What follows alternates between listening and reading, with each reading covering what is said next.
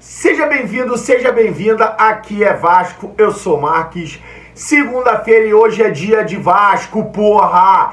Então o Vascaíno que aproveitou bem aí o final de semana para relaxar, para curtir com a família, né? Toda aquela quinta-feira que foi final de semana dentro, na curtição do Vascaíno, todo mundo feliz na vida, alma lavada, né? Pelos 5 a 1 enfim, mas temos que virar essa página, os desafios continuam e hoje é dia de América Mineiro às 8 da noite lá no Independência, né? Vamos já falar disso. Antes eu queria pedir para que vocês compartilhem aqui o nosso canal, que vocês deem um joinha, que vocês ativem aqui o sininho, dê um toque aqui no sininho dê essa moral pra gente, assim como lá nas redes sociais, né, no Instagram, no TikTok, no Twitter, Ser Vasco Oficial, o mesmo Oda Oficial é o Oda Ser Vasco, então também se inscrevam lá, sigam a gente, que a gente fica muito feliz com isso, né? Antes da gente começar, a gente não podia deixar de mencionar o término do ano do nosso rival, a gente deseja que o rival tenha aí um, um restante de ano feliz, passaram em branco, para quem teve a oportunidade de assistir ao nosso vídeo, né, a nossa live lá do início início do ano, ali pela segunda semana, ali entre o dia 12 e 14 de janeiro, a gente profetizou isso, que eles tinham nascido em 2019 e que morreriam em 2023. Dito e feito, o ano deles acabou. Rival, Feliz ano novo para vocês e até 2024 que vocês tenham novamente um péssimo ano. Mas vamos voltar a falar de Vasco, né? Falando de Vasco, mais tarde tem Vasco e América Mineiro, né? Então, como eu falei, é hora da gente virar a página do, do bom futebol que o Vasco apresentou na quinta-feira. E o Vasco precisa estar tá focado no jogo de hoje, né? O Vasco que já está em BH, né? O Vasco que chegou ontem à noite lá em BH, então já desembarcou, o time está lá, o elenco já está lá para se preparar para mais tarde. E no estádio teremos a presença de 7.200 vascaínos, né, que já está quase esgotado.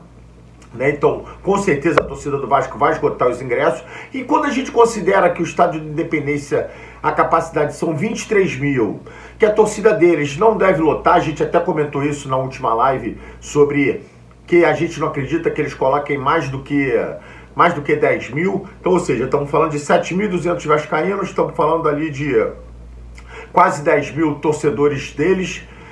Ou seja, será um jogo ali quase que 50% 50%, né? E né, torcida por torcida nossa faz barulho, barulho pra caramba. Então teremos a nossa torcida em massa apoiando. Já tem uma galera aí na estrada, já tem uma galera que tá partindo para lá pro jogo de mais tarde. E o pacto é esse: que todos tragam os três pontos. Três pontos esses que são importantíssimos, pois o Vasco pode hoje sair da zona de rebaixamento. Então Vasco que tem 23 pontos, pode, com a vitória de hoje, passar Santos, Bahia e Goiás. Né? O Vasco dá um salto grande na tabela, a gente definitivamente deixar a zona de rebaixamento para trás e poder olhar a Sul-Americana, né? que é o que o Vasco precisa almejar. Né, torcendo para que algumas combinações, nem todas, né, é, aconteçam e que as vagas na Libertadores aumentem e com isso o Vasco possa ter, quem sabe, alguma chance, mas isso é lá na frente. Nesse momento que o Vasco quer hoje é sair da zona de rebaixamento e a próxima meta é realmente a gente mirar a, a, a zona da Sul-Americana. Bom,